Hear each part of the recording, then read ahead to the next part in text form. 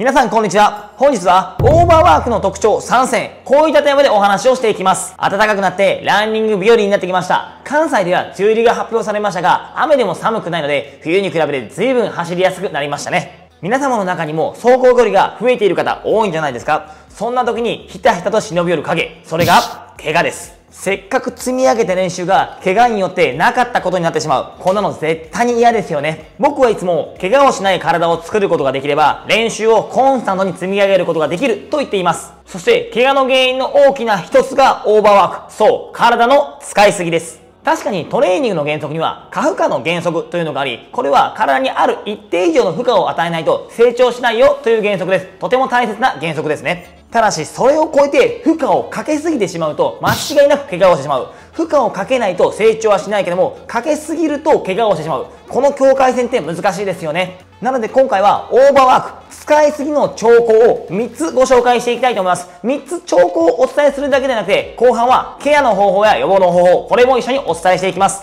練習をちゃんと積み上げる時期だからこそ大切なことです。一緒に学んでいきましょう一つ目は、体に常に不調を感じる。まずは体の観点です。体に疲労が溜まっていると、体の至るところに疲労や張り、そして疲れが生じます。具体的に言うと、体が常に重だるい。常に筋肉痛や筋肉に張りを感じる。特定の筋肉や関節が痛む。過去に怪我をしたところが痛む。こういった症状が出ていることが多いです。この中の一つが出ていることもありますし、全部を感じるということもあります。僕のクライアントさんでも疲れがたまり練習を追い込みすぎると、昔大怪我をした右の股関節に違和感を感じるという方もいらっしゃいます。いずれにせよ疲れが溜まると皆様の体はもう無理だよこれ以上はできないよという叫び声を皆様に訴えかけてきます。その声を無視し続けて練習を続けてしまうと、いずれ大きな怪我になってしまうということです。いつも家事、仕事、育児を頑張ってくれてる奥さん、その奥さんが、最近ちょっと家事がしんどいのっていう子に対してどうでしょうかね何言ってんだ俺の方が仕事しんどいんだからもっとお前も頑張れよなんて言ったら大変なことになりますよね。おそらくそういった3日後には荷物をまとめて実家に帰ってると思います。そういう時に、うん、そうだね。いつも本当に頑張ってくれてありがとう。今週末は俺が家事、育児、すべてやるから、君はどっか遊びに行っておいで。そう言ってあげると、もう万事 OK。夫婦円満です。そう体もそれと一緒ですよ。体が不調を感じて痛みや疲労感を訴えかけてきたらそれが体の SOS だと思ってちゃんといたわってあげましょう。2つ目は練習がうまくこなせない。疲労が溜まると体が普段通り動かなくなって練習がいつも通りこなせなくなってしまいます。ポイント練習がこなせない。フォームがバラバラでいつも通り走れない。こういった兆候のある方大丈夫ですか？間違いなく疲労溜まってますよ。体に疲労物質が溜まると筋肉にももちろん疲労物質が溜まってうまく筋肉の伸び縮み、これができなくなります。筋肉の伸び縮み、これがうまくできなくなると、体の力が出せなくなってしまって、うまくスピード出せなくなってしまいます。そして、そのせいで自分の思ってるイメージ通りに走れなくなってしまう。つまりは理想のフォームで走れなくなってしまうということですね。なので疲れてくるとフォームがバラバラになってしまうんです。アンパンマンを知らない人はいないと思います。僕も大好きです。アンパンマンは顔が濡れると力が出なくなりますが、顔が欠けても力が出なくなります。筋肉もそれと一緒です。まあ、筋肉は欠けはしませんけども、筋肉が疲れて力が出ない。こういったことですね。そんな顔が欠けたアンパンマンにジャムおじさんが、ダメだ絶対に負けてはいかん顔はそのまま戦うんだなんて言ったらどうですかね間違いなくブラックアニメです。アンパンマンはブラックアンパンマンという名前になってしまってクレームの嵐で違う形で有名になっているかもしれません。皆さんも筋肉が疲れて力が出ない。っていう時にもっと働けというんではなくてジャムおじさんのように新しい顔を持ってくるかのように筋肉をちゃんと休ませてあげましょう。3つ目は日常生活に支障をきたす。これ聞くとね重そうですよね。でも日常生活に支障をきたすぐらい疲れることありますからね朝起きれない、練習のやる気が出ない、日中ずっと眠たい、こういった現象です。眠気があるということは体が休息、つまり回復を求めているということですね。風邪をひいた時に眠たくならないという方はいないですよね。人間は起きていて活動していると、それだけでエネルギーを消費します。眠ると人間のエネルギーの消費というのは生命活動のためだけの最小限に抑えられます。その分眠っている時というのは体の回復に集中できるんですね。なので、朝起きることができない、日中ずっと眠い、練習どうもやる気が出ない、こういった場合というのは、体が回復を求めて、ちょっと休ませてって言ってるサインなんですね。これ、心当たりがある方、体が相当疲れが溜まってる証拠なので、ちゃんと休息心がけてください。以上の3つがオーバーワーク、つまり体の使いすぎのサインです。どうでしょう？当てはまってることありました？当てはまってる方がいたら、これ見て見ぬふりはダメですよ。見て見ぬふりしてしまうと、後で怪我という痛い形で帰ってきますから。ではここから後半、オーバーワークの対処法を3つご紹介していきます。1つ目は5日休む。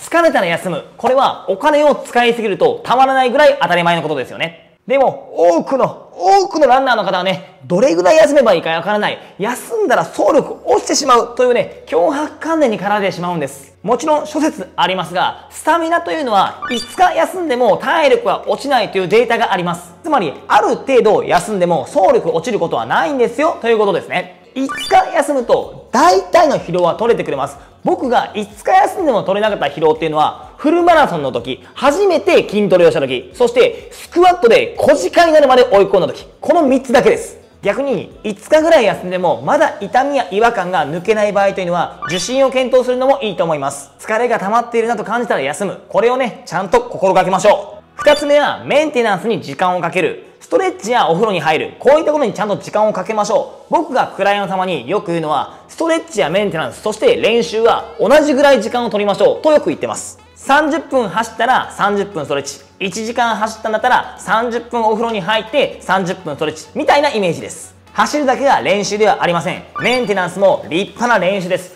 ここに時間を使えるからというのは、怪我もしませんし、練習でベストパフォーマンスを出すことができます。この前、ストレッチちゃんとしてますという方に、お、すごいどれぐらい時間使ってますか？と聞いたら、3分です。と答えが返ってきました。3分でどうにかできるのは、ウルトラマンかカップラーメンぐらいです。まあ、やらないよりかはね、もちろんいいんですけども、ちゃんとね、時間をしっかりかけるようにしてください。僕のストレッチの動画は、おかげさまで好評いただいております。もしね、やり方がわからないとか、どれぐらいやったらいいかわからない、そういった方は、このような動画、参考にしてみてください。3つ目、睡眠とお風呂に時間を使う。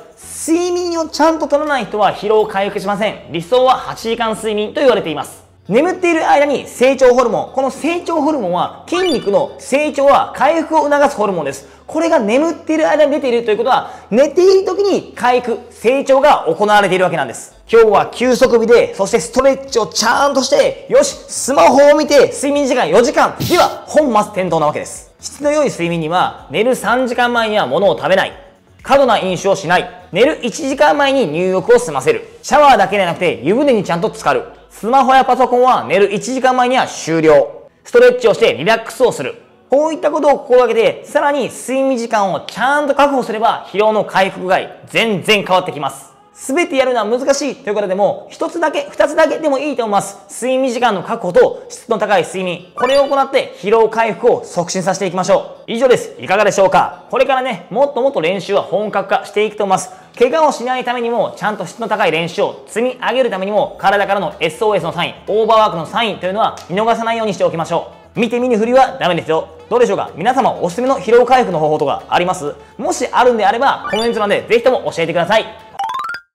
本日の質問はですね、これから暑くなってくるんだけども、帽子やサングラスはした方がいいのかという質問ですね。ありがとうございます。そうですね、もうね、今もめちゃくちゃ蒸し暑いですし、またね、あの、暑くなって、梅雨が明けたらめちゃくちゃ暑くなりますから、やっぱり日差しも強くなりますしね、やっぱり帽子はちゃんとした方がいいですし、サングラスも紫外線から目を守るために絶対にちゃんとした方がいいです。帽子は色はやっぱり黒よりも白とかの方がいいですね。黒だとやっぱ熱吸収しちゃいますから、逆にね、頭の温度上がってしまって危険ですよね。